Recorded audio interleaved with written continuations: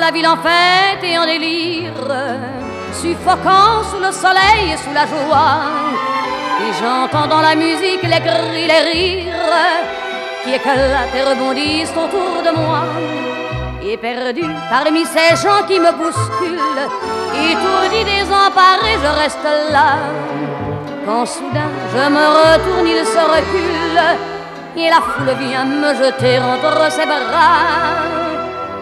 Emporté par la foule qui nous traîne, nous entraîne, écrasés l'un contre l'autre, nous ne formons qu'un seul corps. Et le flot sans effort nous pousse enchaîner l'un et l'autre, et nous laisse tous deux épanouis, enivrés et heureux. Entraînés par la foule qui s'élance et qui danse une folle farandole, nos deux mains restent soudées.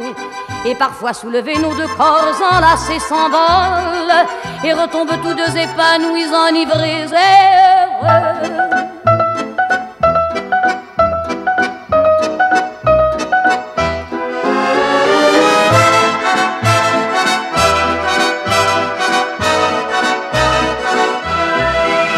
Et la joie qu'elle a poussée par son sourire me transperce et rejaillit au fond de moi.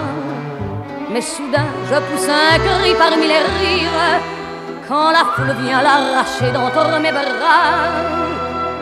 Emporté par la foule qui nous traîne, nous entraîne, nous éloigne l'un de l'autre, je lutte et je me débat. Mais le son de ma voix s'étouffe dans le rire des autres et je crie de douleur, de fureur et de rage et je pleure.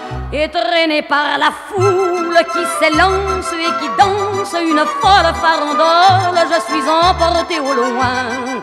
Et je crispe mes poings maudissant la foule qui me vole, l'homme qu'elle m'avait donné que je n'ai jamais retrouvé.